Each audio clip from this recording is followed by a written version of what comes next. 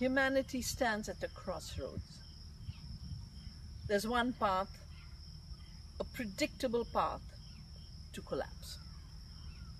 It's a road we've been pushed on with fossil fuels, with poisons, by the poison cartel, selling pesticides when we have so many plants that give us pest control. This path has given us climate catastrophe.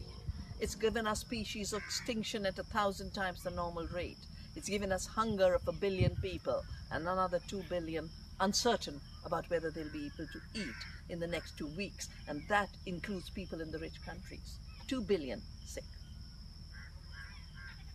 This is not a food system. There is another path. And that path shows the way to regeneration, shows the way to a future.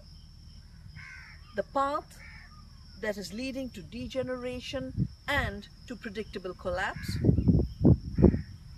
gives us a 10 year window to change. Otherwise, as the IPCC tells us, then the Biodiversity Convention tells us, and every major study tells us, in a hundred years, we could be extinct like other species are extinct. That's why there are movements like Extinction Rebellion. Perennial path of life is the path of biodiversity.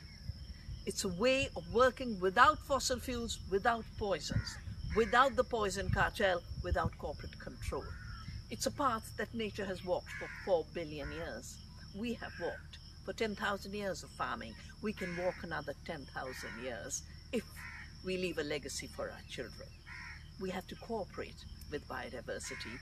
We have to prevent the erosion, not just of biodiversity in nature, but the knowledge of biodiversity.